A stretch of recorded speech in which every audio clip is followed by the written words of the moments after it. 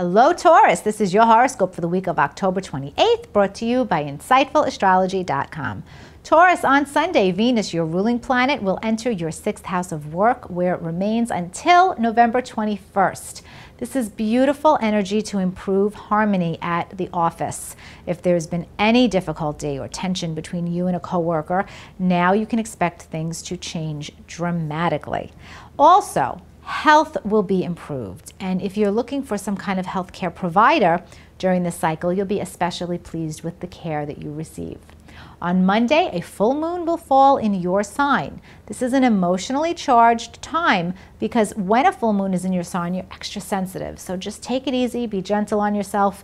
There's some tricky aspects connected to this um, day that involve communication where it might be fuzzy for everyone. So just, just relax, get a massage, go take a walk by the ocean or wherever you're peaceful and see what happens with this energy.